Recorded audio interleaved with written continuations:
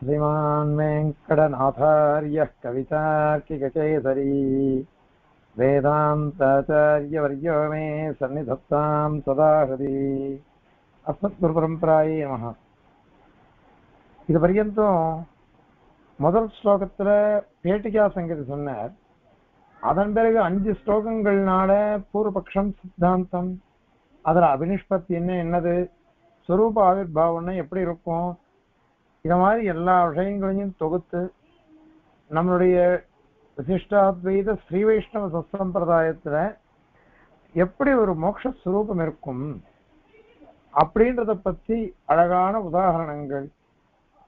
அதாவது வேடுவ திருஷ்டாந்தம் ராஜகுமார திருஷ்டாந்தம் அந்த மாதிரி மல்லிகைப்பூ திருஷ்டாந்தம் இந்த மாதிரி உதாரணங்கள்லாம் சாதிச்சு அதெல்லாம் முடிச்சு கொடுத்துட்டார். அதன் பிறகு இப்போ மேல ஒரு விஷயம் வருது. என்ன விஷயம் அப்படின்னா மோக்ஷனை எதை சொல்றோம்? மோக்ஷம்னா எத்த சொல்லணும்? அப்படின்னுட்டு சந்தேகம் வந்துடுறது. அதை இப்ப சாதிக்கிறது ஏன்னா நமக்கெல்லாம் தெரியும். சாலோக்கியம் சாமீப்பியம் சாரூப்பியம் அந்த மாதிரி சாயுத்தியம் நாலு இருக்கு.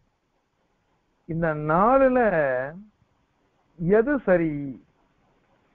அப்படின்னுட்டு விசாரம்லாம் வருது. அதாவது என்ன கேக்குறா? நேற்று ஸ்லோகத்துல முந்தானத்து ஸ்லோகத்தெல்லாம் என்ன சொன்னோம்? சர்க்கரை அமிர்தம். இது ரெண்டும் ஒன்னா சேர்ந்தாக்கா எப்படி இருக்குமோ? அந்த மாதிரி உபய விபூதியும் பகவானும் சேர்ந்து நமக்கு ஆனந்தத்தை கொடுப்பா. அந்த ஆனந்தத்தை கொடுக்கவே நாம் நல்லா அனுபவிப்போம்? அதையும் சொல்றேன்னு இவா கேட்கிறா. காரணம் வந்து இவருடைய அபிப்பிராயம் கைவல்யமே போருமே. அதுவே மோட்சம் அது இருந்தாலே போருமே. அப்படின்னுட்டு சில பேர் சொல்ற. ஏன்னா ஆத்மானுபூதியிலேயே சில பேர் திருப்தி படுறாரோ இல்லையோ ஏன்னா திருப்திங்கிறது அவ மனசை பொறுத்தது. எந்த விஷயமா இருந்தாலும் சரி அவ்வளவுதான். கொஞ்சம் போறது சாப்பிட தேவை ஐயோயோ எனக்கு போறோம்னு சொல்றவாள இருக்கா? நிறைய சாப்பிட்டான்னாக்கா ஐயோ எனக்கு போறலையே போறலையேன்னு சொல்றவாள இருக்கா? அந்த மாதிரி மோட்சத்தையே அனுபவிக்கணும்னு ஆசைப்படுறான் ஒருத்தன் அந்த மோட்சம்ன்றது எதுவும் கேவலம் வரைச்ச ஜீவ அனு ஜீவாத்ம சுரூபத்தை அனுபவிக்கிறது அதுவே போருமே அப்படின்னுட்டு சில பேர் சொல்லுவாது அந்த மாதிரி சொன்னாக்கா அது ரொம்ப ரொம்ப ரொம்ப தப்பு அது. ஏன் அப்படின்னாக்கா தன்னைத்தானே அனுபவிக்கிறதுங்கிறது பூர்ணத்துவம் அதுல வராது. தன்னைத்தானே அனுபவிக்கிறதுல பூர்ணத்துவம் வராது. நியத்த ஆனந்தம் வராது. அது எப்படின்னாக்கா என்ன நானே பொழுதுன்னு இருக்கேன் நான் தற்பெருமை பேசிக்கிறேன். அதாவது தெரியுமா நான் இவ்வளவு வாசித்தேன் அவ்வளவு வாசித்தேன் இந்த வம்சமாக்கும் அந்த வம்சமாக்கும். ஒரே ஒரு விஷயத்துல ஒண்டிதான் தற்பெருமை அடிச்சுக்கலாம். ஆச்சாரியாருடைய திருவடி சம்பந்தம் இருக்கு பாருங்கோ. அதை வச்சுட்டு தான் சொல்லிக்கணும். நான் அந்த மகானுடைய சிஷ்யன்.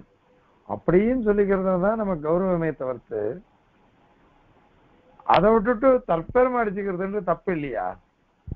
அது நமக்கே அடுத்து போயிடும். நாலு பேர் நம்மளை அவமானப்படுத்த அமைச்சிருவா மதிக்கவே மாட்டேன்னுடுவா. அதனால தற்பெருமை அடிச்சுக்கிறது எவ்வளவு தவறோ அது மாதிரிதான் ஆத்மானுபூத்தின்றது. கேவலம் கைவல்யத்தை அனுபவிக்கிறதுன்றது அது போராது அது அனாவர்த்தி கிடையாது அதுக்கு. ஆவர்த்தி கிடையாது. திரும்பி வருதுன்றது கிடையாது. அதையும் சொல்றேன். அவன் கூட மோட்சத்துக்கு போவான்னு. ஆனால் இது கூட ஒரு பிரதிபந்தகம் தான் அர்த்த பஞ்சகாதிகாரத்துல இத கூட ஒரு தடையா ஒண்ணு போட்டுட்டார். விரோதி விரோதி வர்க்கத்தை சொல்லச்ச இது கூட ஒண்ணு விரோதி விரோதி வர்க்கத்துல இதுவும் ஒண்ணு அடக்கம். கைவ கைவல்யம்ன்றது என்னைக்குமே இது கிடையாது. கைவல்யம்ன்றது என்னைக்குமே ஆனந்தத்தை கொடுக்காது. அது பூர்ண முக்தின்றது அது வராது அது. நிறைய இடத்துல கண்டனம் பண்றோம். கைவல்ய சப்தத்தை மோட்சத்துல கூட பிரயோகம் பண்றா. அப்புறம் வரப்போறது. அது கூட விசாரிக்க போறா. ஆனா மோட்சம்னு சொன்னா கூட அது பூர்ண மோட்சம்ன்றது அது கிடையாது. அது வந்து ஆத்மானுபூதியை ஒண்டிதான் சொல்லும். ஜீவாத்மா தன்னுடைய சுத்தாத்ம சுரூபத்தை அனுபவிக்கிறானே. அதை சில பேர் சொல்லுவா அத சொன்னாக்கா அது மோட்சமே கிடையாது அது ஏன்னாக்கா இதுல வந்து மொத்தம் உபாசனம் பண்ணா உபாசனம் பண்ணிட்டு பெருமாள் அனுபவிக்கிறத விட்டுட்டு தன்னை அனுபவிச்சுட்டு இருக்கான். அப்போ உபாசனம் பண்றது எதுக்கு? பரமாத்மாவை அனுபவிக்கிறதுக்கா? ஜீவன் அனுபவிக்கிறதுக்கு? பரமாத்மாவை அனுபவிக்க இல்ல ஜீவனை தான் அனுபவிக்கிறதுக்கு அப்படின்னு சொன்னியானாக்கா அப்ப உபாசனத்தினுடைய பலன் மோட்சத்தான பரமாத்மாவை தான் அனுபவிக்கணும். அப்ப அது இல்லைன்னு ஆயிடுத்து இங்க. அது இல்லைன்னு ஆயிடுத்துனாக்கா அப்ப அது எங்க போகும்? ஏன் இவனுக்கு வந்து பரமாத்மா அனுபூதியில விச்சேதம் இடவரை வந்துருச்சு இப்போ. கைவ மோட்சத்துக்கு போயிட்டான் ஒருத்தன். அங்க போய் பரமாத்மாவை அனுபவிக்காம கைவல்யத்தையே ஒருத்தன் அனுபவிக்க ஆரம்பிக்கிறான். அப்படியானாக்கா பரமாத்மா அனுபவம் வரல அதுக்கு தடை வந்துருச்சு. அது ஏன் வந்தது அது? அது என்ன தடை? தடைக்கு என்ன காரணம் அது? ஏதாவது கர்மா இருக்குதா? கர்மாவனால தடை வந்துருத்தா அப்படின்னு சொல்ல மு- கேட்க முடியாது. ஏன்னா கர்மாவே அங்க கிடையாது. எல்லா கர்மாவும் போனா தான் நம்ம மோட்சத்துக்கு போவோம். எல்லா கர்மாவும் உனக்கு போயிடுத்து. போயிடுத்துனாக்கா அவனுக்கு மோட்சம் கிடைச்சிருச்சுன்னா கர்மாலாம் போயிடுத்துன்னு அர்த்தம் அப்போ. அதனால அதுக்கு நீ என்ன அர்த்தம் சொல்ல போற இப்போ? அதனால கர்மாவே போயிடவே இது வந்து காரணமே இல்லையே. காரணமே கிடையாது அங்க. காரணம் தான். அதான். கர்மா இல்லாததுனால எப்படி இடைவெளி வந்தது? அதே மாதிரி பகவான் நிகிரகம் இருக்குதா? பகவான் நம்மள தான் நிகிரகம் பண்றான்னாக்கா நிகிரகம் பண்ணணும்னா கூட அது ஒரு காரணம் வேணுமா வேணாமா? நிகிரகத்துக்கு காரணமே இல்லை. ஏன்னா கர்மா பெடுத்து. நாம ஏதாவது பாபங்கள் பண்ணியிருந்தா தான் எம்பெருமான் நமக்கு வந்து நிகிரகத்தை கொடுப்பான் சிக்ஷிப்பான். இங்க நிகிரகமே இல்லையே. ஏன்னா கர்மா இருந்தாலும் நிகிரகம் இருக்கும். அதனால பகவான் நிகிரகம்ன்றது கூட இங்க வராதே. ஏன்னா கர்மாவெல்லாம் அழிஞ்சு போயிடுத்தது. அதனால நீங்க இதையும் சொல்ல முடியாது அதையும் சொல்ல முடியாது. ஏன் வரல அது? பிரம்மானுபவம் வரல. இந்த பிரம்மானுபவம் வரலன்னாக்கா அது என்ன காரணம்? ஏதாவது காரணம் சொல்லு. உபாதியினால வரதா அது? அல்லது ஸ்வதக வரதா? சுவாபாவிகமா கர்ம மூலமா சுவாபாவிகம் அப்படின்னு சொல்லவே முடியாது. ஏன்னா மோக்ஷம்னா பெருமாள் அனுபவிக்கிறது தானே? அது அப்படி இருக்கிறது அதுவே பெருமான அனுபவமே வராது அப்படின்னு சொல்லிட்டாக்கா அது விரோதம் தானே. எனக்கு மோட்சம். நான் வந்து கஷ்டப்படுறேன். எப்ப நான் ஆனந்த சுரூபனான பகவான் அடைஞ்சி நான் மோட்சத்தை அனுபவிப்பேன் அப்படின்னு தானே இவன் பிரவர்த்திக்கிறான் இப்ப அதுவே போயிடுறதே. அதுவே போயிடுத்துனாக்கா அப்ப ஏதாவது ஒரு உபாதி சொல்லணும் நீ அந்த உபாதி வந்து கர்மான்னு சொல்ல முடியாது. பகவான் நிகிரகம்னு சொல்ல முடியாது. ஏன்னா எல்லா கர்மாக்களும் போயிடுத்து. அதனால பகவான் நிகிரகமே வராது. பகவான் நம்மளை சிக்ஷிக்கிறதுன்றதே வராது அது. வராத விஷயத்துல போய் எப்படி நாம சொல்ல முடியும்? அதனால பகவான் நிக்கிறோன்றதே அது. ஏன்னா நிர்ணயத்துக்கும் பெருமாள் வந்து அவனுக்கே தெரியும். கர்மா இருந்தாதான் அவன் சிக்ஷிக்க முடியும் அவனால. கர்மா இல்லாம அவனால ஒன்றும் பண்ண முடியாது. பெருமாள் சொல்றாரு தன்னை பத்தி சொல்லிக்கிச்ச நான் வந்து கர்மானுகுணம் தான் நான் வந்து எல்லாருக்கும் சிக்ஷை பண்ணிட்டு இருக்கேன். படத்தை கொடுத்துட்டு இருக்கேன். நிமித்த மாத்திரமே ஏவாசௌ சிருஜ்யானாம் சர்க்க கர்மணி பிரதான காரணி பூதாக யதோ வை சிருஜ்ய அப்படின்னு பராசரர் வந்து மைத்திரேயருக்கு உபதேசிக்கிறார். விஷ்ணு புராணத்துல. அதாவது பகவான் சாதாரண காரணமா இருக்கான். அவன் என்ன பண்றான்? இந்த ஜீவராசிகள்லாம் பண்ணின பாபங்கள் புண்ணியங்கள் அத பிரதானமா வச்சுட்டு தான் பகவான் வந்து எல்லாரையும் சிக்ஷிக்கிறான். அதனால அது காரணம் கர்மா இருந்தாதான் சிக்ஷிக்க முடியும். உபாசனம் இருந்தாதான் மோட்சத்தை அனுகிரகிக்க முடியும். ஆகவே அனுகிரகமோ நிகிரகமோ அனுகிரகத்துக்கு உபாசனாதிகள்லாம் காரணம். நிகிரகத்துக்கு பாபகர்மாக்கள் காரணம். இப்போ உபாசனம் பண்ணினா கர்மாலாம் எல்லாம் போயிடுச்சு அவன் அனுகிரகிக்கணும் மோட்சத்தை. அந்த சமயத்துல பகவான் நிகிரகம் இருக்குது. அப்படின்றதுனால கர்மாவே இல்லையே. கர்மாவே இல்லாத சமயத்துல எப்படி இது இது வரும்? நினைக்கிறோம்ன்றது வரும். அது வரவே வராதே. அதனால அதுவும் இல்லை. இல்ல இல்ல கைவல்யத்துக்கோதரம் ஒருத்தன் பிரவர்த்திக்கிறானோ இல்லையோ அதுவே நிக்கிறான் தான் அப்படின்னு சொன்னா அது கூட தப்பு தான் அது. ஏன் அப்படின்னாக்கா கைவல்யார்த்தம் இவன் பிரவர்த்திக்கவே மாட்டான். மோக்ஷார்த்தி. பெருமாளையே ஆசைப்படுறவன் கைவல்யத்துக்கு போய் ஆசைப்படுவானா? சமன்வயாதிகரணத்துல பாஷ்யக்காரர் கேட்கிறார் ஒருத்தன் வந்து ராஜபவனத்துல உட்காந்துட்டு இருக்கான் சந்தோஷமா. ராஜ மாளிகை ஆனந்தமான போகங்கள் அதுல சந்தோஷமா அனுபவிச்சுட்டு இருக்கான் அவங்ககிட்ட போய் நீ இது மாதிரி தப்பு பண்ணிட்ட. நீ ஏன் குடிசையில வசிக்கவே இல்லை? ஒரு குடிசையில வசிக்க வேண்டாமா? நீச்சமான அனுபவத்தில் நீ அனுபவிக்க வேண்டாமா? நீ ஏன் இந்த ராஜபவனத்துல நீ உட்காந்துருக்க அப்படின்னு ஒரு ராஜகுமாரன் ஒருத்தன் கேட்டான்னாக்கா எப்படி இருக்கும்? அந்த மாதிரி நீ எல்லாம் பேசுறது. கைவல்யத்துல அவனுக்கு பிரவருத்தியே வராதே. ஒரு உபாசனம் பண்றதுன்றது மோட்சத்துக்கு தான் பண்ணுவான். கைவல்யத்துக்கோசரம் அவன் பண்ணவே மாட்டான். அதனால இந்த மாதிரி ரெண்டு விதமும் வராது. சொதகாவே கைவல்யத்தை அனுபவிக்கிறதுனாலயே இவனுக்கு சொதகா வந்துருத்து பகவானுடைய நிகிரகம். அதனால பகவத் அனுபவம் வரல அப்படின்னு உன்னால சொல்ல முடியாது. உபாதனம் பண்றவன் இது இந்த மோக்ஷார்த்தியா தான் இருப்பான். மோக்ஷம் என்ன பகவத் தான் நம்ம சித்தாந்தத்துல. வெறும் ஜீவாத்ம சுரூபத்தை அனுபவிக்கிறது இல்லை. பகவான் அடையிறது தான் வந்து ஆகாஷ பராயணம் அப்படின்னு இருக்குது பராயண சப்தத்துக்கு பாஷ்யக்காரர் சொல்றார்.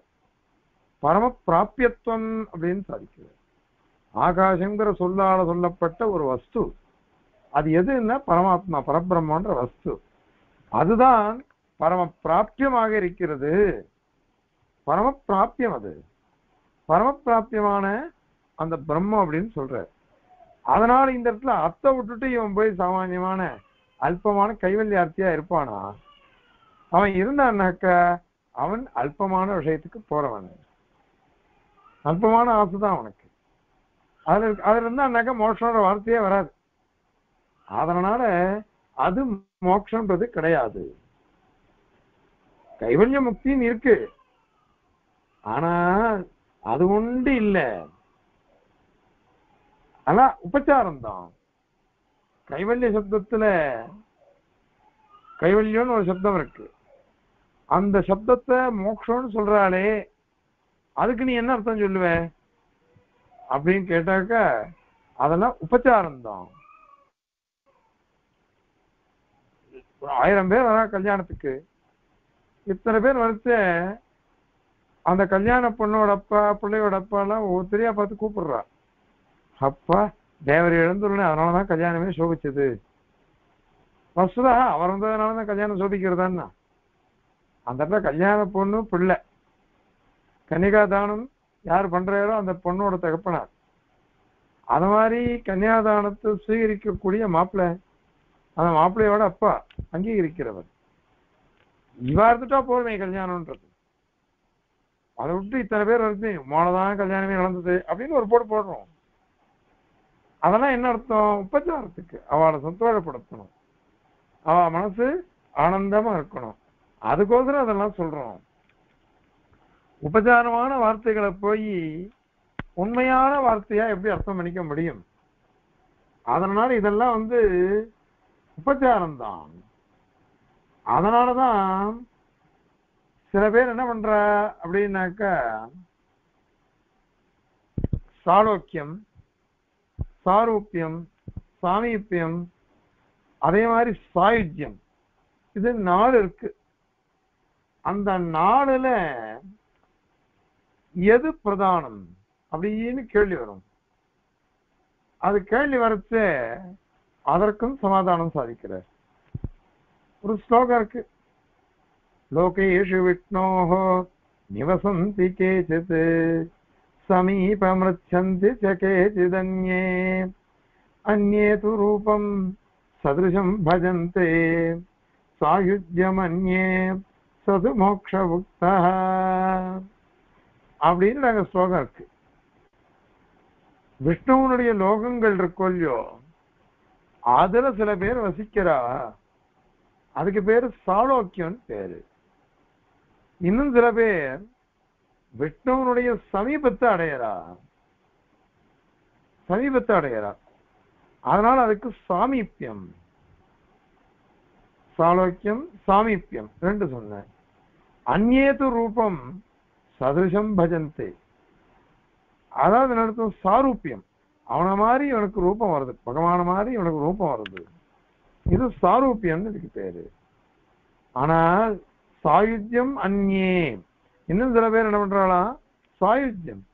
சயுக். பெருமாளுடைய சேர்ந்துடுறாளாம். அபத சித்த விசேஷம். அடுத்த அதிகாரத்துல சொல்ல போறோம். அதனால பெருமாளுடைய அபிரத சித்த விசேஷமாக எப்பொழுதும் இருக்கிறவன் அங்க போனாலும் அந்த மாதிரிதான் சேர்ந்து இருப்பான். அவனோட சேர்ந்துடுறது. சேர்ந்து சந்தோஷமா அனுபவிக்கிறது. அந்த சாயுஜன்றது தான் சது மோக்ஷ உக்தக சாயுஜங்கிறது தான் மோக்ஷம். மீதி மூணும் உபச்சாரம்தான் உபச்சாரமாக உபச்சாரமா தான் சாலோக்கியம் சாமீப்பியம் சாரூப்பியம் அப்படின்னு சொல்லப்படுறது. மோக்ஷம் மோக்ஷம் மோக்ஷம் அது கூட சொல்ற. அதெல்லாம் உபச்சாரமான வார்த்தையை தவிர்த்து வாஸ்தவிகமான வார்த்தை இல்லை. பின்ன எது வாஸ்தவிகம்? சாயுஜ்யம் சொல்றது பாருங்க அதுதான். அதனால சாயுஜ்யத்தை தவிர்த்து மீதி எதுல மோ- இந்த மோ- மோக்ஷம் மோக்ஷம் சாலோக்கியம்லாம் சொல்றோமோ அதெல்லாம் வெறும் ஔபச்சாரிக்கம். உபச்சாரத்துக்கு சொல்றது இது உபச்சாரத்துக்கு சொல்ற வாக்கியங்கள். அந்த சுவாமி தான் என்னை காப்பாத்தினார். அப்படின்றோம். சுவாமி எல்லாம் இல்ல. திரைய நம்மளை நான் காப்பாத்துறான். பகவான் இல்லாம நம்மளை யாரும் காப்பாற்ற முடியாது. ஆனால் ஏதோ ஒரு காரணத்துக்கோசரம் உபச்சாரமா நம்ம சொல்றோம். பாஷ்யக்கார ஆரம்பத்துல ஸ்ரீபாஷன் சொல்ற பகவான் அப்படின்னு சொல்றோம். பெருமாளுக்கு தான் பகவான்னு பேரு. ஆனால் சூத்திரக்காரர் பகவான் சாய்ப்பேர் எந்திரமானார். எல்லா சாஸ்திரக்காரரும் சொல்றா சூத்திரக்காரர் பகவான் சூத்திரக்காரா? அப்படின்னு சொல்லுவா. பாஷ்யக்காரர் பகவான் சொல்லுவா பகவான் பாஷ்ய பாஷ்யக்காரா அப்படின்ட்டு வஸ்துதா பரமாத்மா கிட்ட உண்டிதான் அந்த பகவத் சப்தம் உண்மையான முக்கியமான அர்த்தத்தை கொடுக்கும். மீதி எங்க எந்த இடத்துல பகவத் சப்தம் சொன்னாலும் அது அத்தனையும் உபச்சாரமாக தான் இருக்கும். நிறைய இடத்துல அதெல்லாம் இருக்கு. நம்ம வந்து சப்ஜெக்ட் எல்லாம் பார்த்தோம்னாக்கா நம்ம நம்ம உடனே உடனே சொல்றோம் பாருங்க. அதீஹி பகவோ பிரம்மேதி பிரகுர்வை வாருணிஹி பிதரம் வருணமபசார அதீஹி பகவோ பகவஹா. பகவானே ஹே பகவானே எனக்கு பிரம்மத்தை எனக்கு சொல்லிக் கொடும் அப்படின்னு அவர் பிரார்த்திக்கிறார் வந்து பிருகு வந்து தன்னுடைய தோப்பனாரான வருணன் கிட்ட அதுக்கு அவர் பதில் சொல்றார் வருணன். இப்ப இங்க பகவான் சொல்றது எப்படி அப்படின்னாக்க இதெல்லாம் உபச்சாரமான வார்த்தைகள். ஔபச்சாரிகம் தான் முக்கிய அர்த்தம் இல்லை அப்படின்னு அர்த்தம்.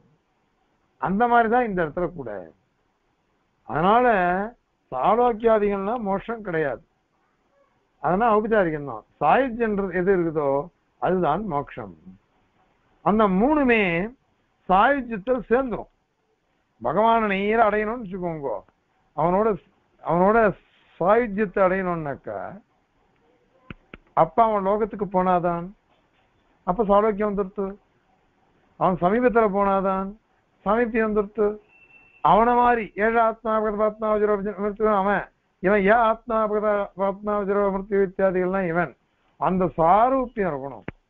அது இருந்தாதான் சாயுஜ்யமே கிடைக்கும். சாலோக்கியம் இருந்தால்தான் சாயுஜ்யம். சாமீபியம் சாலோக்கியம் இருந்தா சாமீபியம். ரெண்டு இருந்தா சா- இது சாரூபியம். இந்த மூணு இருந்ததுன்னாக்கா சாகி சாயுத்தியம் அதனால அந்த சாயுத்தியம் முக்கியம். சாயுத்தியத்திலேயே இந்த மூணு அடங்கியுள்ளது. அதனால மோட்ச சப்தம் சாயுஜ்யம் தான் மீதி இல்லா சாயுத்தியம் இல்லை. அதனால மீதி இல்லா சாயுத்திய சம்பந்தம் இருக்கிறதுனால மோக்ஷன்னு சொல்றது சாயுத்தியத்தினுடைய சம்பந்தம் இருக்கு. சாலோக்கியத்துக்கோ சாமீபியத்துக்கோ அது மாதிரி சாரூபியத்துக்கோ சாயுஜ்யத்தினுடைய சம்பந்தம் இருக்கு. சம்பந்தம் இருக்கவே அதையும் மோட்சம்னு சொல்றோம் அப்பா யாகம் பண்ற? பிள்ளைக்கு அந்த பேர் வந்துடும் இந்த காலத்துல. தீட்சிதா தீட்சிதான்னு போட்டுக்கிறா சில பேர். அவ விரிவா அந்த காலத்துல யாகம் பண்ணிண்டா தீட்சை பண்ணிட்டு யாகம் பண்ணினா. அதனால அந்த அம்சம் சேர்ந்தவா தீட்சிதர்கள். இந்த மலையில இருக்கிற அர்ச்சகால்லாம் இருக்காளே வைகானசால் அவள்னா தீட்சிதாள்னே சொல்லுவா. காரணம் அவள்லாம் ஒரு காலத்துல அப்படி யாகம்லாம் பண்ணிடுவா அதனால அவளை தீட்சிதாள் அப்படிங்கிறா. இன்னைக்கு பண்றது இல்ல அந்த காலத்துல அவ பண்ணினா அது.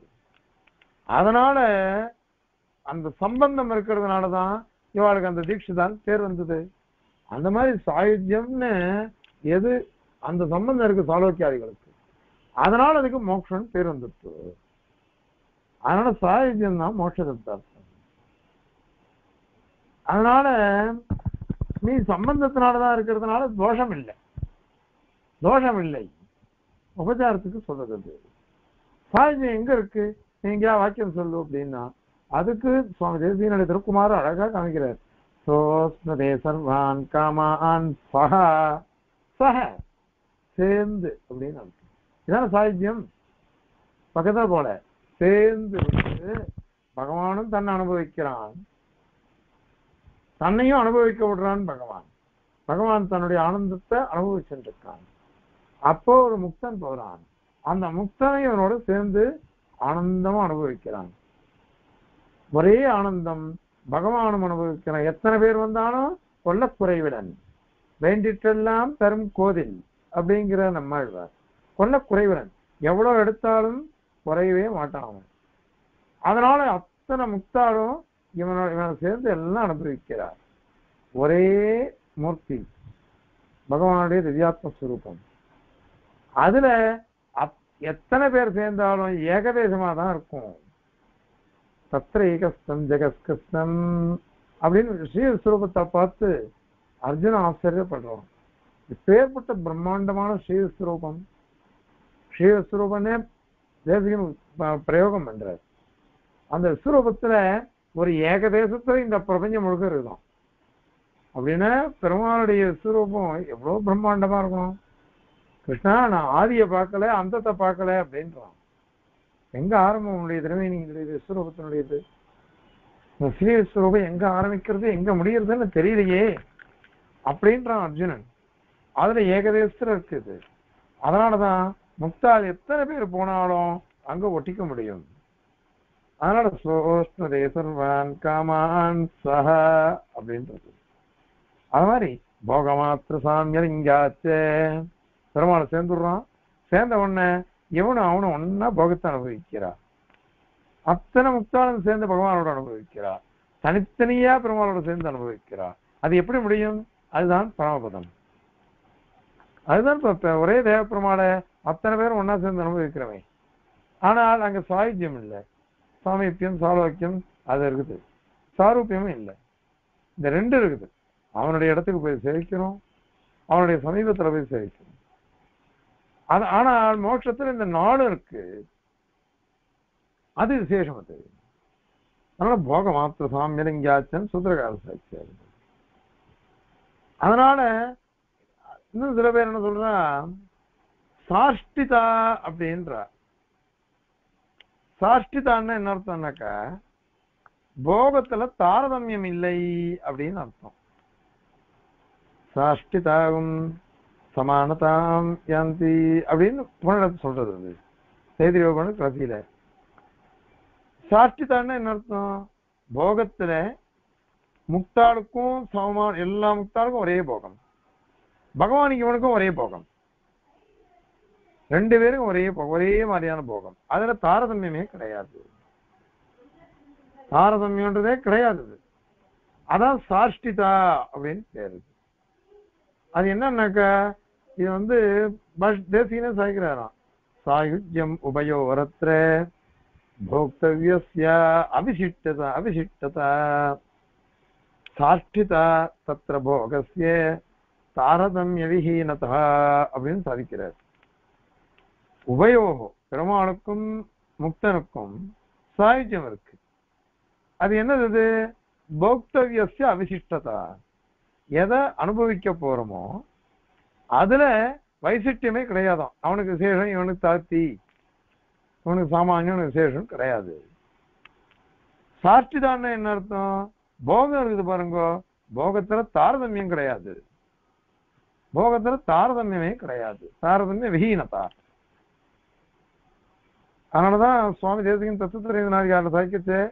இங்கேருந்து ஒருத்தன் போறான். ஏற்கனவே சொல்றேன் இந்த லோகத்துல இருக்கிறது ஒருத்தர் பெருமாள் கைங்கரியம் பண்றார். அதை பார்த்தோன்னா ஐயோ அந்த கைங்கரியம் எனக்கு கிடைக்கலன்னு ஒரு புறாம வருது. ஆசை வருது. நான் கொஞ்ச நாளை திருவாளவட்ட கைங்கரியம் பண்றேன். நான் கொஞ்ச நாள் சாமரம் பெருமாளுக்கு பேசுறேன். ஏதோ நம்ம ஆசைப்படுறோம். அங்க போனா அது மாதிரி ஆசை வருமா? மோஷத்துக்கு போயிட்டோம்னாக்க அனந்தகிரகசனாதிகள் நீதமான கர்த்தவியத்தை பண்ணிட்டு இருக்கா கைங்கரியத்தை அவ பண்றாளே? நான் வாகனம் ஆகக்கூடாதா? அல்லது நான் வந்து ஆயுசேஷன் மாதிரி இருக்கக்கூடாதா? எல்லா சர்வாவஸ்தைகளையும் அப்படி இல்லாம் எல்லாம் நின்றால் சென்றால் குடையாக இருந்தால் சிங்காசனம் எல்லாம் இருக்கே. அந்த மாதிரி நான் ஆகக்கூடாதா? அப்படின்லாம் போட்டி வருமா? புறாம வருமா? அப்படின்லாம் கேட்டு அதெல்லாம் வரையே வராது. அவர் பண்றதே நமக்கு சந்தோஷம் வந்துருமா? என் பிள்ளை பண்றதை பார்த்துட்டு என் எனக்கே சந்தோஷம் வருது நான் என் பிள்ளைகிட்ட பணத்தை கொடுத்து எல்லாருக்கும் சாப்பிச்சிடும். பாபாதாளுக்குன்றேன் அவன் சாப்பிச்சா இன்னும் எனக்கு சந்தோஷம். நான் சாப்பிச்சா அவனுக்கு சந்தோஷம் வரணும். இப்படிதான் லோகத்துல இருக்கு இல்லையா? அந்த மாதிரிதான் கைங்கரியத்துல. எல்லாருக்கும் ஒரே மாதிரியான போகத்துல தாரதமியமே கிடையாது. அதனால அங்க போட்டி பொறாமை எதுவுமே வராது அங்க. இது சுவாமி சாதிச்சிருக்காரு நாளைக்கு நாளிகாரத்து சகிக்கிறாரு. ஸ்ரீமத் ரகசிய சாரத்து அதனால எங்கேயுமே போகத்துல தாரதமியம் இல்லை. அதற்கு பேர் தான் சாஷ்டிதா. இத ஸ்ரீமத் ரகசிய திரைசாரத்துல இதெல்லாம் விவ- விசாரம் பண்ணிருக்காரு. விசாரம் பண்ணிருக்க அதெல்லாம் அங்க பார்த்துக்கணும். அதெல்லாம் நிறைய சாய்க்கிறாரு அதனால சுவாமி தேசிகனே சாயுஜ்யம் உபயோரத்திர போக்தவியஸ்ய அபிஷிக்ததா சாயுஜ்யம்னா என்ன அர்த்தம் ரெண்டு பேரும் ஒன்னா சேர்ந்து அனுபவிக்கிற போக்தவியம் எதுவோ அதுல வைசிஷ்டம் இல்லை ஒரே மாதிரி இருக்கு போகத்துல சா இதுன்றது ஒரே விஷம தாரதமியம் இல்லாம இருக்கிறதுன்றது சாஷ்டிதா அப்படிங்கிறார் அதுல கூட நம்ம லோகத்துல இப்படி இருக்குது போக்கியம் வந்து ஒரே மாதிரிதான். சக்கரை பொங்கல் சாய்ச்சா ஒருத்தருக்கு ரொம்ப பிடிச்சி நிறைய சாப்பிட்றேன். இன்னொருத்தர் சுகர் இல்லாட்டா கூட சரி. ரெண்டு பேருக்கும் சுகர் இல்லை. ஆனால் ஒருத்தர் என்ன சொல்றாரு? நிறைய சாப்பிட்றேன். இன்னொருத்தர் குறைவா போட்டுக்கிறார். எனக்கு திட்டிட்டுலாம் எனக்கு பிடிக்காது அவ்வளோ. எனக்கு கொஞ்சம் போகிறோம் போகும் அல்லது ஒருத்தர் நிறைய சாப்பிட்றார் அவர் என்ன சொல்கிறார் சாப்பிடு எனக்கு தகட்டவே இல்லை. இன்னும் கூட சாப்பிடணும் போல இருக்குது இது பரிகாசங்கள்ல நிஜமா நடந்தது. பொதுவா வைஷ்ணவாளுக்கு எல்லாருக்குமே திதி பிடிக்கும். வைதிகாலுக்கு திதிப்பு ரொம்ப பிடிக்கும். வைஷ்ணவாளுக்கு ரொம்ப ரொம்ப ரொம்ப பிடிக்கும். அது தாத்தாச்சாரர்களுக்கு திதிப்புன்னு ரொம்ப பிடிக்கும். நம்ம நாவல் பாகம் வாசுதேவாச்சாரம் பண்ண ஆயிரத்தி தொள்ளாயிரத்தி எண்பத்தி நாலுல. ஆஹ் வந்து நாவல் பாக்கத்துல அத்தியன உற்சவம். அந்த அத்தியன உற்சவத்துல பாராயணம் பண்ண போனார். இக்கூடார வழியில் நினைக்கிறேன் கூடார வந்து அன்னைக்கு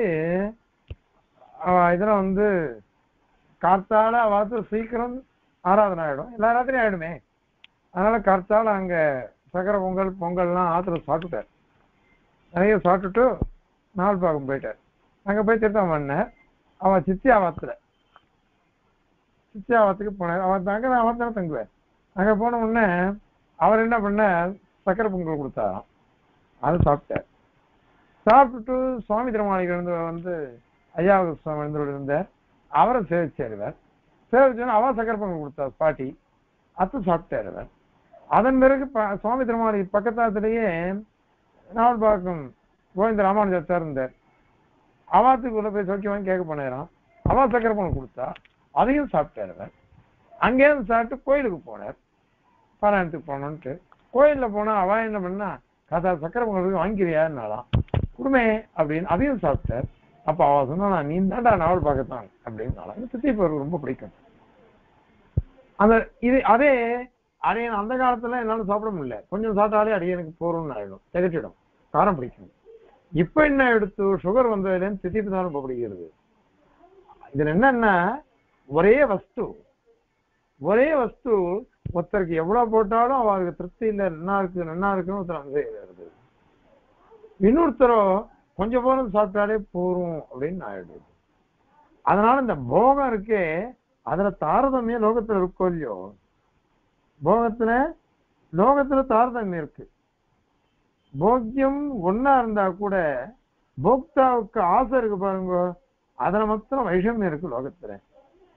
ஆனால் மோட்ச தசையில பெருமாளுக்கோ முக்தாளுக்கோ நித்திய சூரிகளுக்கோ யாருக்குமே போக தாரதமியம் இல்லை. போக்கிய தாரதமியம் இல்லை. எதுவுமே இல்லை. அதனாலதான் சாயுஜ்யம்னு ஒண்ணு சொல்றோம் இல்லையோ அதுலதான் சாஷ்டித்வம். போக தாரதமியம் இன்மை. போக தாரதமியத்தினுடைய இல்லாமை. அதுவும் சா- அந்த சாயுஜ்யத்துல அந்தர்கதமா ஆயிடுறது அதுல அந்தர்கதமா ஆயிடுறது அதனால இந்த மாதிரி சாயுஜ்யம்ன்றது அதுதான் பிரதானமான மோட்சம் வேற எதுவும் மோக்ஷன்றதே கிடையாது. அதெல்லாம் உபச்சாரத்தினாலதான் சொல்லப்படுறது. ஆக சாலோக்கியம் சாமீப்பியம் சாரூப்பியம் சாயுஜ்யம் சாஷ்டித்வம் இந்த அஞ்சு இருக்கு. அஞ்சுல முதல் மூணு கடைசி ஒண்ணு இது நாலும் மோட்சம் இல்லை. அந்த நாலுமே சாயுஜ்யத்துல அந்தர்கதம் சேர்ந்து இருக்கிறது தான் அந்த சாயுஜ்யமானது மோக்ஷம்ன்றது முக்கியமான அர்த்தம் இருக்கு மீதி எல்லாத்துக்கும் உபச்சாரம் தான் அர்த்தம். அது சரி இந்த சாயுஜ்யத்தை வந்து அத்வைதிகள்னா ஒத்துப்பாளா? அப்படி என்ன? அவளுக்கு சாயுஜ்யன்றதே வராதே. ஏன் அப்படின்னா சயுக் அப்படின்னு சொல்லணும். ச அப்படின்னு பாருங்க சஹன்னு அர்த்தம். சேர்ந்து இருக்குது அது அதுல நீங்க சகசப்தம்ன்றது என்னது இது? உபசர்க்கத்துக்கு ச அப்படின்றது சஹன்னு வந்திருக்குது அது. அதனால அவளுக்கு அந்த சேர்ந்து இருக்கிறதே இல்லையே எல்லாம் ஐக்கியம் தானே? ஐக்கியம் சொல்றவனுக்கு போய் சாயுஜம் சேர்ந்து இருக்கிறதுன்னு எப்படி வரும்? பிரம்மமும் ஜீவனும் ஒண்ணுதான் அப்படின்னு சொல்றவனுக்கு போய் பிரம்மத்தோட சேர்ந்து ஜீவன் அனுபவிக்கிறான். அப்படின்னு சாயுஜ்யமே அவளுக்கு வராதே. யுஜிஹி யோகே. யுஜின் தாத்து. கிரியாபதம். ரோட் அது அந்த வினைச்சொல்லானது யோகத்துல சேர்க்கையில சொல்லும். அதனாலதான் சாயுஜ்யம் அப்படின்னு சொல்றோம். அதனால அது பேத கர்ப்பிதம். சா- இந்த யுஜி தாத்து வந்ததுன்னாக்கா அது பேதத்தை தான் சொல்லும். ஜீவனும் ஆத்மாவும் ஒன்னா சேர்றா. ஒன்னா சேர்றான்னா ஐக்கியம் இல்லை. சேர்ந்து சாயுஜ்யம்னு அர்த்தம். அவன் பேதம் தான் அபிரத சித்த சம்பந்தம் இருக்கு. அடுத்த வகையில் சொல்ல போறோம். அபிரத சித்த சம்பந்தம் இருந்தாலும் அது எப்படி இருக்கும் அப்படின்னாக்கா இந்த இதுவா தான் இருக்கும். ஆஹ் தனித்தனியா தான். ஜீவஸ்வரூபம் வேற பரமாத்ம ஸ்வரூபம் வேற அப்படிதான் இருக்கும் அது.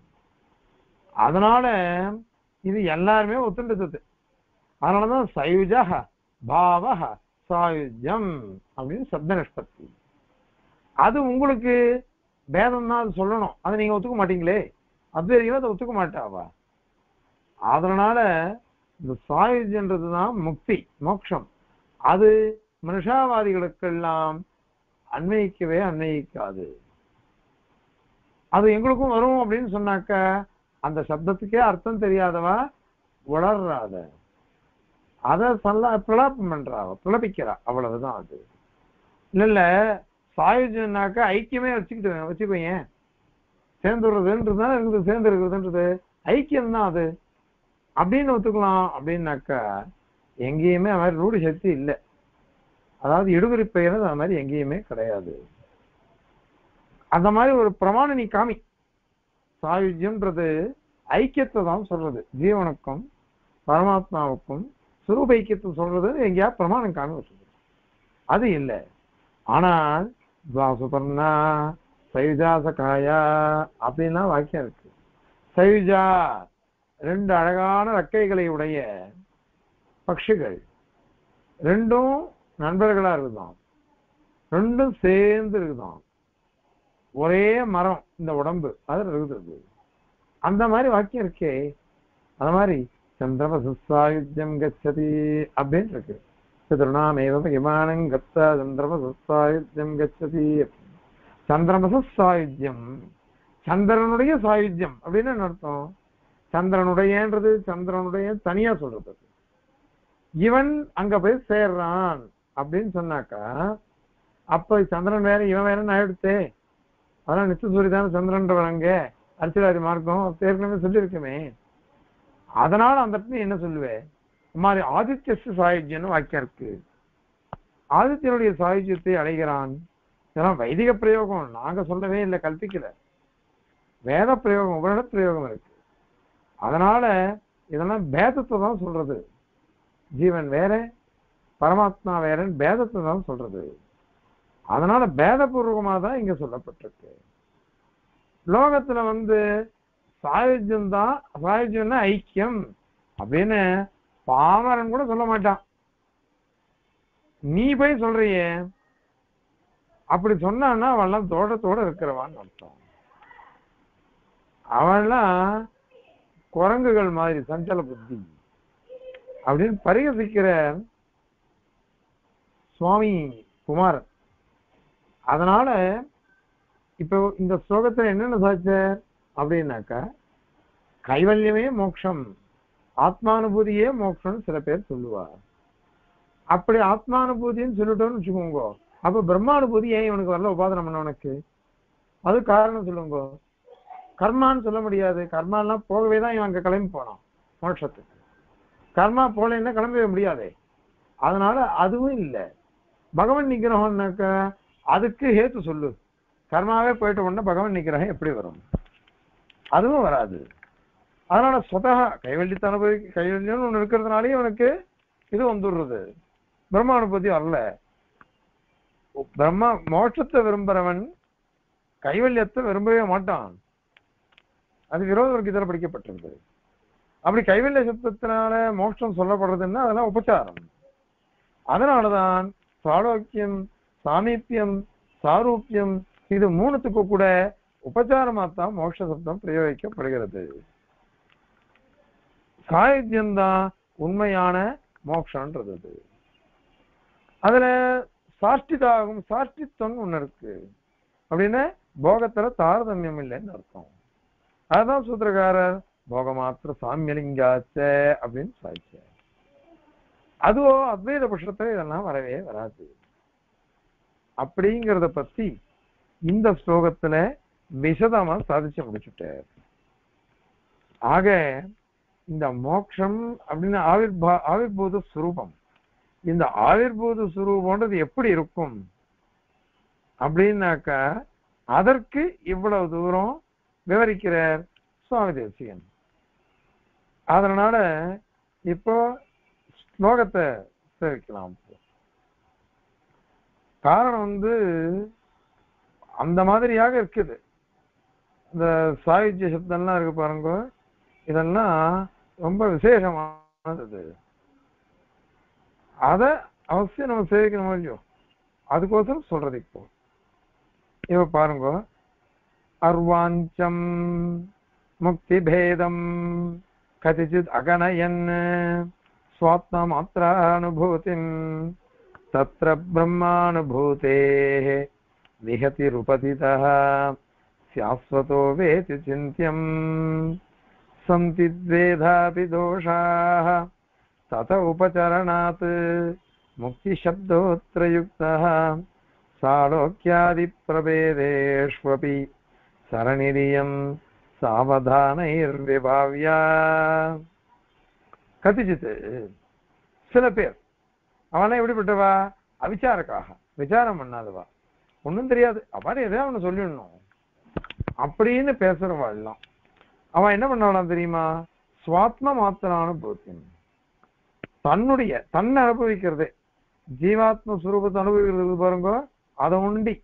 அர்வாஞ்சம் முக்தி பேதம் அகனையன். அதாவது சாட்சாத் முக்திக்கு ஆந்தரம். இதான் முக்தி விசேஷம். மோஷம் இது சாட்சாத் முக்தின்றது இதான். அந்த மோ பிரம்ம அனுபூதியெல்லாம் கிடையாது. அப்படின்னுட்டு முக்தி அர்வாஞ்சம். இது வந்து அர்வாஞ்சம்னா பின்னாடி இருக்கிறதுன்னு அர்த்தம். முன்னாடி இல்லை. அர்வாச்சீனாக அப்படின்னா இப்ப ஆதுனிகால் நடத்தும். ஆதுனிகமானது அது. உண்மையானது எது? பிராச்சீனம் பிரம்மானுபூதி தான். அதை விட்டுட்டு தன்னுடைய ஆத்மானுபூதியே மோட்சம்னு சொல்றா. அகணையன்னு அத மாதிரி சொல்றா. சத்திர அந்த முக்தி விசேஷத்துல. அதாவது ஆத்மானுபூதியில பிரம்மானுபூதேகே விகதிகி விகதினாக இடைவெளின்னு அர்த்தம். கேப் பிரம்மாண பிரம்மானுபவம் இருக்கே அது இடைவெளி எதனால வந்தது. ஏதாவது உபாதியினால வந்தது. உபதிதா சியாத் சியாத் இது சிந்தியம். உபாதியினால வருமா? அல்லது சுபகாவே இயற்கையாவே வருமா? அப்படின்னு சொல்லணும். இல்லை கர்மோபாதி மூலகம் இது. இவனுடைய கர்மா இருக்குது. அதனாலதான் வரும். அப்படின்னு நீ சொல்றியா? அப்படின்னா கைவல்ய அனுபவ காலத்துல பரமாத்மா அனுபவம் வச்சதுக்கு கர்மோபாதின்னு நீ சொல்லணும். அல்லது சுவாபாவிகம்னு சொல்லணும். சுதகன்னு ரெண்டுத்திலையும் தோஷா சந்தி. ரெண்டு பட்சத்திலையும் தோஷம் இருக்கு. ஏன்னா அப்ப தோஷம் இருக்குன்னு என்ன அர்த்தம்? கர்மா தான் உபாதி. கர்மா இருக்கவே தான் இவனால பிரம்மத்தை அனுபவிக்க முடியலன்னு சொன்னாக்கா அது என்ன தோஷம்? நிச்சேடமான கர்மா இருக்கு பாருங்க. அது போகலைன்னு அர்த்தம். நீ சொல்ற மாதிரி. அப்படியானாக்கா முக்தின்னு என்ன அர்த்தம்? அனைத்து கர்மாக்களும் அழியணும். அதன் பிறகுதான் இவன் இந்த ஸ்தூல சரீரத்தை விடுவான். அப்படிதானே வரையும் சொல்றோம். அது போயிடுமே இப்போ. அது அத்தனையும் போயிடும் அது. அதனால முக்தின்றதே இல்லைன்னு ஆயிடும். ஏன்னா கர்மா தான் இருக்குதுன்னு அர்த்தம் நீ சொல்லிட்டியே. கர்மாவே போல கொஞ்சம் இருக்குது கர்மா அப்போ அது மோட்சமே இல்லையே. அதனால முக்தின்னே வராது அது. இல்லைன்னா சுவாபாவிகம் சொன்னோம்னு வச்சுக்கோங்க அது அபசித்தாந்தம் ஏன்னா பிரம்மானுபூதியே வராது. அது இயற்கையா இருக்குதுன்னு சொன்னாக்கா பிரம்மானுபூதி இல்லாத மோட்சம் வரும் மோட்சமா? அது வரவே வராது. ஏன் அப்படின்னா எல்லா சேதனங்களுக்கும் என்ன ஆசை? நித்த சூரிய மாதிரி. நம்மளும் பகவான் அனுபவிக்கணும். அதுக்கு யோகிதா வரணும். அப்படிதானே நம்ம ஒத்துன்னு இருக்கோம் எல்லாரும். அப்படி இருக்கச்ச பகவானுடைய அனுபவம் இருக்குதே அது விச்சேதம். இடைவெளி இருந்துருச்சு அதை அனுபவிக்கவே இல்லை. கைவல்யத்தை தான் அனுபவிக்கிறோம் அது சுவாபாவிகம் அப்படின்னு நீ சொன்னியானாக்கா அது போயிடுமே. அது போயிடுமே. மோட்சன்றதே போயிடுத்து. பிரம்மானுபூதியே போயிடுத்து. இவ்வளவு சாஸ்திரங்களும் வியர்த்தமா போயிடும். இத்தனை சாஸ்திரங்கள் பிரம்ம வித்தியைகள்லாம் சொல்லி பிரம்ம வித்தியை அனுஷ்டிச்சாக்கா மோட்சம் கிடைக்கும் அப்படின்லாம் சொல்றக்கே. அது இல்லைன்னு ஆயிடும். அதனால தொசக அந்த காரணத்தினால அத்த கைவல்யம் கைவல்யத்துல முக்தி சப்தா. சுவாத்மானுபூதி ஆகிற முக்தி ரத்த அப்படிலாம் சொல்றா. முக்தின்றா. தனியே அனுபவிக்கிறது முக்தி. சுவாத்மா மாத்திரானுபூதி தான் முக்தி அப்படின்னு சில பேர் சொல்றா. அது எப்படி அர்த்தம்? உபச்சரணாதி உபச்சரணாத் யுக்தா உபச்சாரமா சொல்றது அது. உண்மையிலேயே அது கிடையாது. உண்மையிலேயே அது மோட்சமே இல்ல அது மோட்சமே இல்ல அது அதனால மோட்சமே இல்லாத போய் மோக்ஷம்னு சொன்னாக்கா அது எப்படி வரும் அது? அது இல்லை. அது சொல்றேன் இங்க. அதனால அது இங்க வரவே இல்லை அது. அந்த பிரம்மானுபூதியே போயிடுத்து. அதனால அது முக்தி சப்தம் சொல்ல முடியும். முக்தியை வந்து சொல்றது மோஷத்தை சொல்றது அப்படின்னு அது வரவே வராது அது. அதனால அது அப்ப சித்தாந்தம் உனக்கு. சரி அதே மாதிரிதான் இந்த உபச்சாரம் சொல்றது சில வாக்கியங்கள்லாம் இருக்கான்.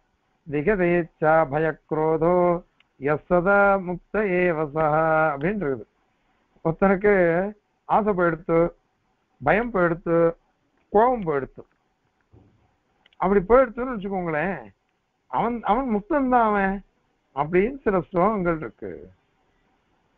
அவன் அந்த மாதிரி அவன் தான் முக்தன் அப்படின்னு சில ஸ்லோகம் சொல்றது அது.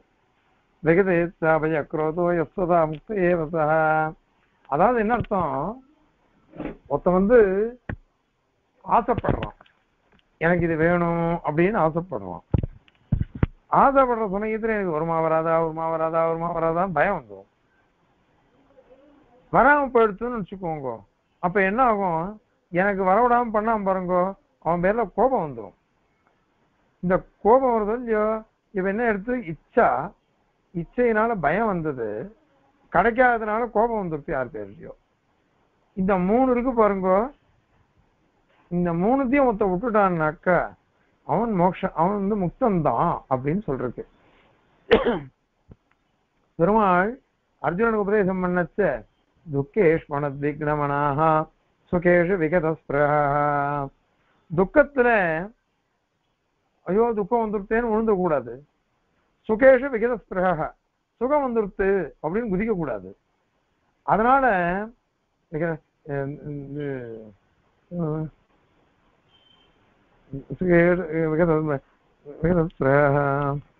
ஓகே. அதில் இது வரும் அது. ஆசை பயம் அந்த மாதிரி குரோதம். இதை யார் அவனுக்கு போச்சோ? டக்குன்னு மறந்து போச்சு. ஆஹ். ஆ வீதராக பய குரோதா சிததீர் முனிருச்சதே வீத்தரா வீத்தன்னா போறதுன்னு அர்த்தம். ஆசை போயிடுச்சு ராகம் போயிடுச்சு ஆசை. பயம்.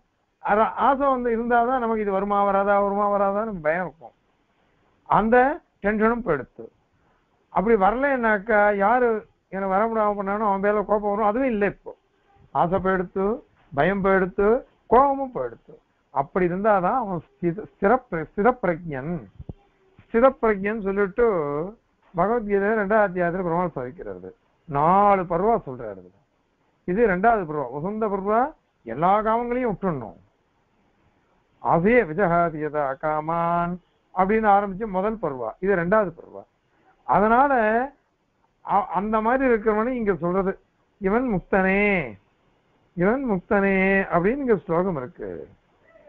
அதனால அவன் முக்தன் ஆயிடுவானான்னு அது.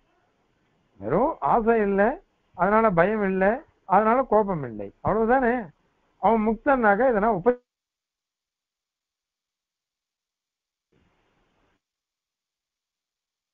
மாதிரி இந்த இடத்துல உபச்சாரிக்கம் தான்.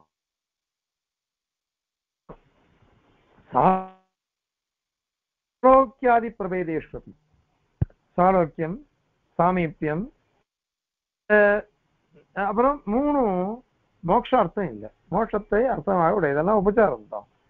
இயம் அது சொல்றது சமீப அது எது கொஞ்சம் மோக்ஷம் சாலோக்கிய சாரூபியம் பிரார்த்தையேன கதாச்சன.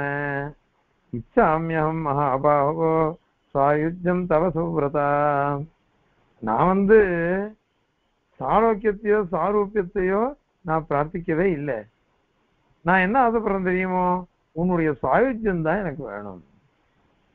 அப்படின்னா வாக்கியம் இருக்கு. அதனால என்ன சொல்றது? சாயுஜம் தான் இங்க மோட்சம்னு சொல்லப்பட்டிருக்கு. அதனால அத மீதி எல்லாம் உபச்சாரம் தான். அது சொல்றேன் சாரோக்கியாதி பிரபேதேஸ்வபி சாரோக்கியம் முதல முதலான பேதம் இருக்குது அவைகள்ல கூட. இயம் சரணி. இந்த சரணி இந்த கிரமம் அத சாவதானே விபாவியா. சாவதானமா நீங்க யோசிச்சு பார்த்தாக்கா உங்களுக்குலாம் தெரியும் அது. எது சரி? அப்படின்னுட்டு எல்லாருக்கும் தெரியும் அது. அதனால எல்லாம் ஔபச்சாரிக்கம் தான் இது. இது அவதானத்தோட பார்க்கணும் நல்ல கவனத்தோட பார்க்கணும். கவனத்தோட பார்த்தோம்னாக்க எல்லாம் ஸ்பஷ்டமா தெரியும். அதனால இதுதான் விசேஷம். அதனால இந்த இந்த இதெல்லாம் இருக்கு பாருங்க. ஆஹ், நித்திய கைவல்யம்னா கூடவே கூடாது. அது ஏற்கனவே தான் சொல்லிருக்கார் இன்னும் கூட சொல்லுவார் குமார தேசிகன் அதனால இந்த கைவல்யமே முக்கியம் எங்கேயும் சொல்லக்கூடாது. மோட்சத்தை அடையிறதுன்றது பிரம்ம பிராப்தின்றது தான் அது. அதுதான் இவ்வளோ நாளைக்கு சொன்னது. அது. அதனால இந்த இடத்துல ஸ்லோகத்துல கைவல்யம்ங்கிறது மோட்சமே கிடையாது. அதே மாதிரி சாரோக்கியம் சாமீப்பியம் சாரூப்பியம் சாஷ்டித்வம் இது நாலும் மோட்சம் கிடையாது. இதெல்லாம் சாயுஜ்யம்ங்கிற பிரதான மோட்சம் இருக்கே முக்கியமானது. அதுல இவைகள்லாம் உள்ளடங்கி இருக்கு. அந்தர்கதம். அதனால இதான் சித்தாந்தம். ஆகவே இதுதான் ஆவிர்பாவம் சுரூப ஆவிர்பாவம். தன்னுடைய அபகதபாத்மத்வாதிகள் எல்லாம் இழந்த அபகதபாத்மத்வாதிகள். அனாதியாக கர்மவாசனையினால் இழந்த இழந்த அபகதபாத்மத்வாதிகள் இப்போ வந்திருக்கு? இது வந்ததுன்னாக்கா நம்ம ஆனந்தமா மோட்சத்தை அனுபவிக்கலாம். அதுல எப்படி பரமாத்மாவை அடைஞ்சி அப்படிங்கிறத இந்த அதிகரணத்தினால சொல்லப்படுறதுன்றத இந்த இந்த பாதத்துல ஏழாவது அதிகரணத்துல ஆறாவது அது சாய்க்கிறார் இந்த ஸ்லோகம் பாருங்க.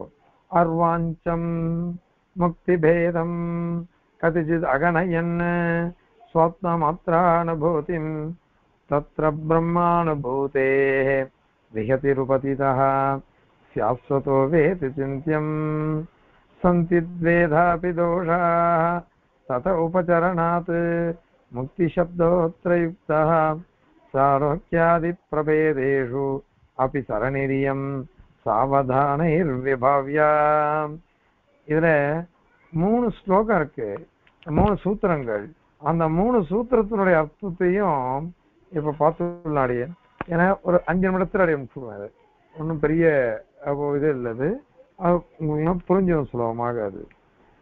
சம்பத்யாவிர்பாவஸ்வேன சப்தாத் அப்படின்னு முதல் சூத்திரம். சம்பத்ய அப்படின்னு என்ன அர்த்தம்? பிரம்மத்தை அடைஞ்சிட்ட உடனே பிரம்ம பிராப்தி ஆன உடனே அப்படின்னு அர்த்தம். அப்போ என்ன ஆகும்? ஆவிர்பாவ. சுரூப ஆவிர்பாவம் இப்ப சுரூபம் வெளியே வெளியிலே வர்றது.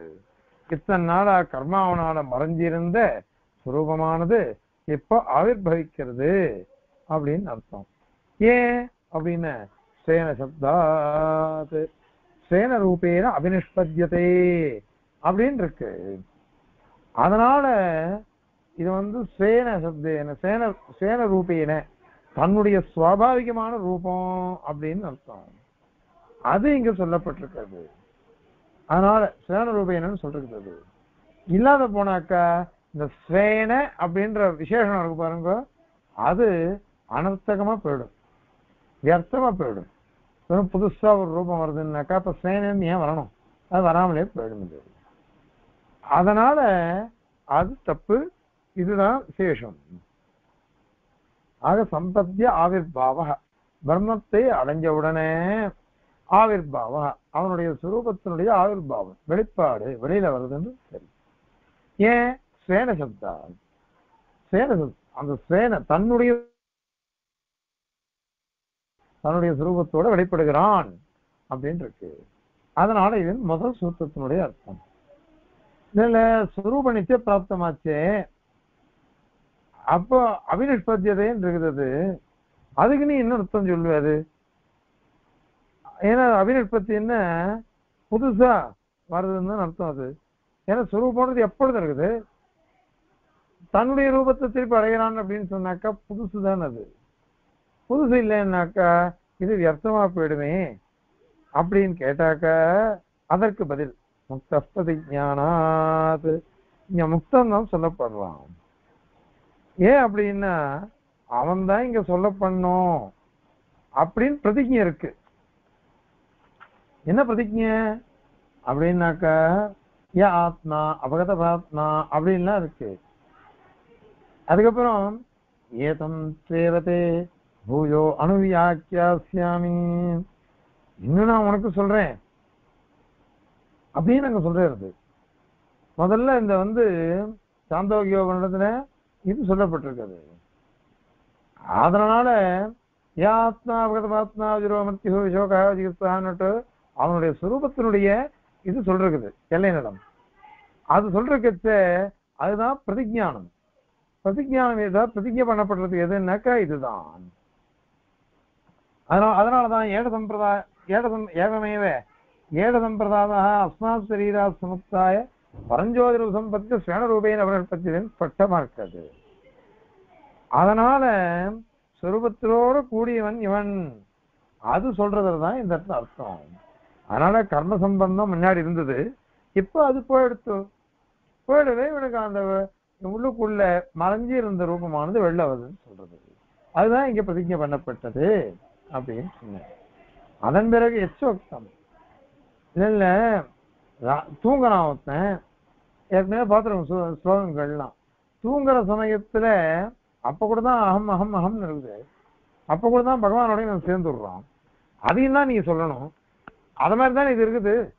அதனால மோட்சம்னு ஒண்ணு தனியா நீ சொல்லணுமா ஆயுர்பாவம்னுட்டு அப்படின்னு கேட்டாக்கா அதற்கு பதில் ஆத்மா பிரகரணாத். இந்த பிரகரணம் இருக்குதே. இந்த இந்த பிரகரணத்துல ஸ்பஷ்டமா சொல்றது. அபகதமாத்மத்வாதி சத்திய சங்கல்ப பரியந்தம் எட்டு குணம் இருக்கு பாருங்க. அதுதான் சுரூபம் அந்த சுரூபத்தோடு தான் இவன் மோட்சத்தை அடைவான். இதை தகராதிகரணத்துல சொல்றார். உத்தராச்சே ஆவிர் பூதஸ்வரூபஸ்து அப்படின்னு அங்க சூத்திரம். அதாவது ஏஷ ஆத்மாபதாத்மா ஜுரோ மிருத்யுன்னு இருக்குது அது மாதிரி ஏன் ஆத்மாபதாத்மா ஜுரோ மிருத்யுன்னு அப்படின்னு இருக்குது ரெண்டும் ஒரே தானே எட்டு குணங்களை சொல்றது. அதனால இவன் வந்து ஜீவனே இருக்கட்டுமே அப்படின்னு சொன்னாக்கா தப்பு. ஏழ ஆத்மா அபகதபாத்மா அப்படின்னு சொன்னது பரமாத்மாவை. ஏன் ஆத்மா அபகதபாத்மான்னு சொல்றது ஜீவாத்மாவை. அதுவும் ஆவிர்பூத சுரூபம் ஜீவனுடைய ஆவிர்பாவம் சுரூப ஆவிர்பாவம் தான் ஏன் ஆத்மா பரமாத்மான்ற வாக்கியத்தினால சொல்லப்படுறது ஆத்மா இந்த ஜீவாத்மாவினுடைய சுரூபம் முக்தி திசையில் அவனுக்கு சுவாபாவிகமான சுரூபம் எது? அப்படின்னா ஏன் ஆத்மா பரமாத்மான்னு ஆரம்பிச்சு சொல்லிடுச்சு அந்த பிரகரணத்துல. அதனால நீ எவ்வளவு தூரம் சொன்னாலும் சரி இதுதான். அதுக்குதான் அழகான உதாரணம் யதான கிரியதை ஜோஸ்னா. மலப்பிரக்ஷாலனான் மனேஹே ஆத்மன கிரியதே ததா. ஒரு ரத்னக்கல்ல அழுக்கெல்லாம் இருக்கு. அது அலம்புறது. அலம்பதான் அலம்புறோம். என்னால பிரகாசத்தை கொண்டு வர முடியுமான்னு அதுக்கு பிரகாசம் உண்டாக்கப்படுறது இல்லை வெறும் நான் அதுல இருக்கிற மண்ணு கண்ணு அழுக்கெல்லாம் இருக்கு அதெல்லாம் அலம்பி வச்சுடுறேன். அலம்பிச்சிட்டான்னாக்கா பிரகாசம் தானாக தான் வருது அது. தானாக பிரகாசிக்கிறது. அதை மாதிரி தான் இந்த ஜீவாத்மா இருக்கானே உபாசனத்தினால இவனுடைய தோஷங்கள் கர்மாக்கள் புண்ணியபாப ரூப கர்மாக்கள் அதெல்லாம் அதெல்லாம் போக்குவரச்சு விடுவான் அதெல்லாம் போக்குவரச்சுட்டாக்கா இவனுடைய முன்னாடி எப்பொழுதும் இருக்கிற சுரூபமானது மறைஞ்சிருந்த சுரூபம் எப்ப வெளில வந்துருத்தோ. அதுதான் அது. யதோதபான கரணாத் கிரியதேன ஜலாம்பரம் ததேவ நீயத்தே நித்தியம் அசத சம்பவ விஷ்ணு தர்மத்துல ஸ்லோகம். என்ன ஆச்சரியமான ஸ்லோகம் பாருங்க.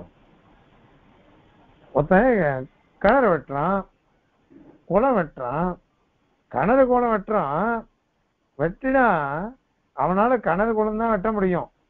ஜலத்தை வந்து நான் எடுத்துன்னு வர முடியுமா? கணத்துல நான் ஜலத்தை எடுத்துனால ஊத்து எப்படி வந்ததுன்னா கணலை நான் தோண்டினேன் கணலை நான் தோண்டிட்டேன். ஆனா ஜலம் வந்தது எப்படி? என்னாலே அதெல்லாம் கொண்டு வரப்பட்டது அந்த பிரதிபந்தகம் அந்த மண்ணு கல் எல்லாம் அதெல்லாம் நாங்கள் தோண்டி எடுத்துட்டோம். தோண்டி எடுக்கிறது ஒண்டிதான் என்னுடைய காரியம். ஜலம் வருதுன்றது ஈஸ்வர சங்கல்பம். நான் புதுசாக பண்ணல. ஜலத்தை நான் என்னால் கொண்டு வர முடியாது. சில பேர் கிணறு தோன்றான் ஜலமே எத்தனை அடி திருப்பதியெல்லாம் வந்து பாருங்க நூற்றம்பது தோண்டினா கூட தண்ணி வராது. அப்படி இருக்குது திருப்பதி முதலான இடங்கள்ல. ஏன்னா வானம் பார்த்த பூமி நிறைய மழை பெய்யாது. அதனால எத்தனையோ விளாடுறோம் அதனால கிணறு உத்தம் தோண்டினாக்கா அதுல ஜலம் வர்றது நான் உற்பத்தி பண்ணல. ஜலம் தானா அங்க ஜலம் இருந்ததுன்னா ஊத்து அப்ப ஜலம் அதுல வருது இல்லாத போனா அது வரவே வராது. நான் பண்ணல அது. அந்த மாதிரிதான் இங்கேயும். ஆத்மஸ்வரூபம் இருக்கே அந்த ஆவிர்பூத சுரூபம் நான் பண்ணல. அது புதுசா பண்ணப்படலை. எப்பொழுதும் இருக்கு. உபாதனம் பண்ணதுனால அந்த கர்மா எல்லாம் அழிஞ்சது. கர்மா எல்லாம் அழிஞ்சிடவே இந்த ஆவிர்பூத சுரூபம் முன்னாடி இருக்க சுரூபம் வெளிப்பட்டுருச்சு. அத மாதிரிதான் இந்த இடத்துலையும். ஆக மூணு சூத்திரங்கள். சம்பத்தியா வெப்பாவசேன சுத்தா முக்தப்பரிஜானாத் ஆத்மா பிரகரணாத் அப்படின்னு மூணு சூத்திரங்கள்னால இந்த ஆவிர்பாவம் முக்தி திசையில எது ஆவிர்பாவம் எப்படி? அது புதுசாக வருதா பழசா வருதான்லாம் கேட்டுண்டு இருந்தது. அது மறைஞ்சிருக்கு கர்மாவனால. அது இப்ப வெளிக்கொணரப்பட்டிருக்கு. அப்படின்றத தீர்மானம் பண்ணி அனுகிரகிச்சார் சுவாமி தேசிகன் கவிதார்த்திக சிம்ஹாய கல்யாண குணசாலினே. ஸ்ரீமதே வெங்கடேஷாய வேதாந்த குரவே நம. அஸ்மத் குரு பரம்பராய